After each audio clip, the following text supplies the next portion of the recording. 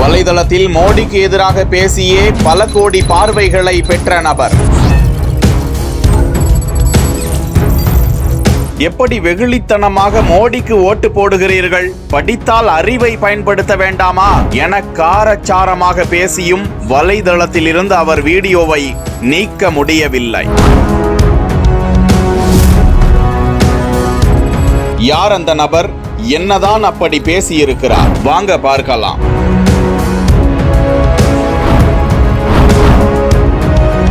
இரண்டாயிரத்தி இருபத்தி நான்கு மக்களவை தேர்தலை பயன்படுத்தி துருவ் ரத்தே என்ற இளைஞர் வலைதளத்தில் காரச்சாரமாக பேசி அதிக கவனத்தை பெற்றிருக்கிறார். Is India become a dictatorship என்ற பெயரில் அந்த வீடியோவை பகிர்ந்திருந்தார். அதில் மத்திய பாஜக அரசை கடுமையாக விமர்சித்து பதிவிட்டிருந்தார். மக்களால் தேர்ந்தெடுக்கப்பட்ட அரசு எவ்வாறு சர்வாதிகார மனப்பான்மையுடன் ஆட்டி படைக்கிறது என அவர் தெரிவித்திருந்த பதிவு இரண்டு புள்ளி ஐந்து கோடி பார்வையாளர்களை பெற்றது.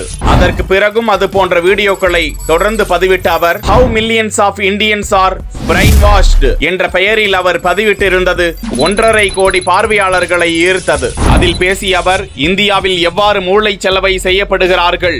அந்த பதிவில் துரு ரத்தே பலரிடம் பேட்டி கண்டபோது விலைவாசி உயர்விற்கும் மோடிக்கும் என்ன சம்பந்தம்? என்னுடைய வாக்கு மோடிக்குத்தான் என பதிவிட்டார்கள். என கூறியிருக்கும் துருவுரத்தே நன்றாக படித்திருக்கிறீர்கள். மூளையை பயன்படுத்தி யோசிக்க வேண்டாமா? மோடிக்கு ஏன் ஓட்டு போட வேண்டும்? என்று கேட்டால் படித்தால் அறிவை பயன்படுத்த வேண்டும் என்ற கட்டாயம் இருக்கிறதா என்ன? என்னுடைய ஓட்டு மோடிக்குத்தான் என வெகுளித்தனமாக கூறுகிறார்கள். இப்படி பலவற்றையும் ஆராயாமல் மோடியை கடவுளாகவே பாவிக்கிறார்கள். இவர்களை யார் மூளை செலவை செய்தது என்று பார்த்தால் வாட்ஸ்அப் யூனிவர்சிட்டிகள்.